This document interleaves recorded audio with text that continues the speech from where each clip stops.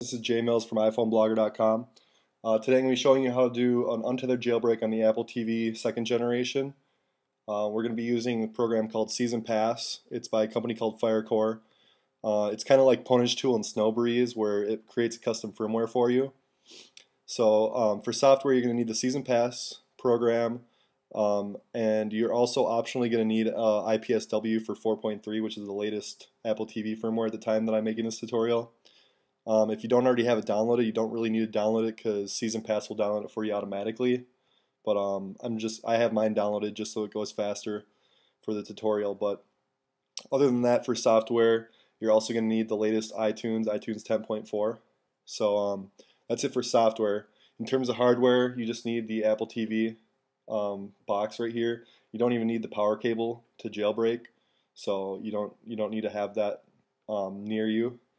Other than that, you also need a um, the Apple TV 2G remote control right here. This is what we're going to use to actually put the device into DFU mode, so you need that. And then you also need a micro USB cable right here. And I just want to say one thing about the micro USB cables. Uh, the Apple TV seems to be really picky about what kind of cable you can use.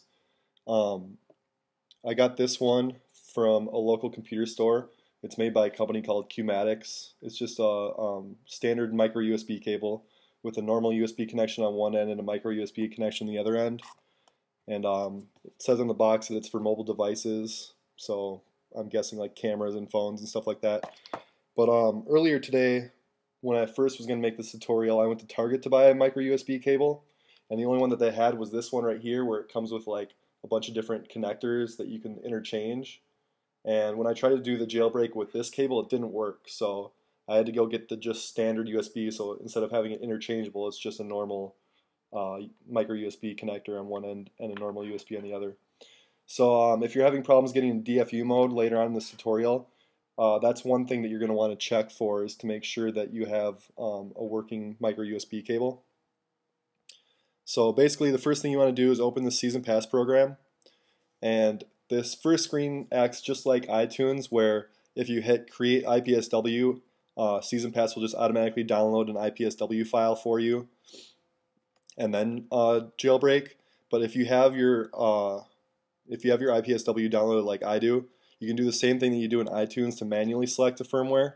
Where in Mac you hold down Option, or in Windows you'd hold down Shift and then click the button, and that way you'll get this dialog box that'll let you just pick the Apple TV firmware from wherever you have it saved to. So I'm just going to do it that way.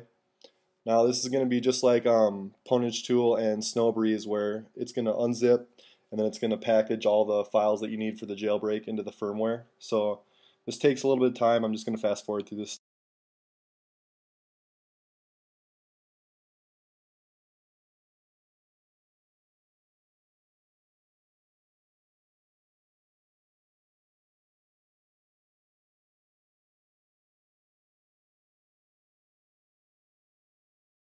point, the custom firmware is done being created. Um, it doesn't put it on the desktop, so don't worry that you can't see it because you'll find out in a second that you're not even going to need need to know the location of the custom firmware. But uh, anyways, at this point, you just want to connect the micro USB cable into the back of your Apple TV. And remember what I said earlier, you don't need a power cable for this part. Um, I'm not sure if it'll even work with the power cable, but just leave the power cable disconnected and then grab your Apple TV remote and this is going to be just kind of like uh, iPhone, iPad, or iPod Touch where you got to hold down a series of buttons except for it's a lot easier on the Apple TV. You just hold down menu and play pause for 7 seconds and then you release it and then that's it, you're in DFU mode. So right now I'm going to hold it down for 7 seconds.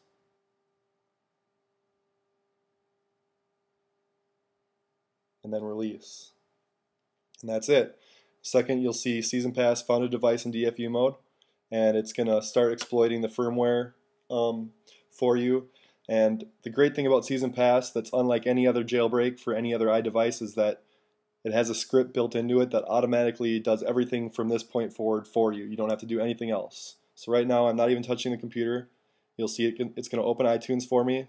It'll automatically hit restore for me. It'll automatically go to where the custom firmware was created and select it. So you don't have to do anything. You just sit back and watch it do its thing. And at this point, it is now restoring the custom firmware you created, and you can just sit back while it goes. I'm going to fast forward it for you.